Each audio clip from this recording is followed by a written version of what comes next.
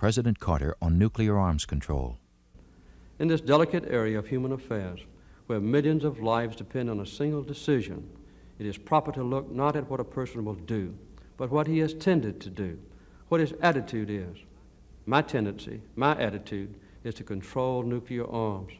Before you vote, please look carefully into this deep chasm that divides Governor Reagan and myself on this issue.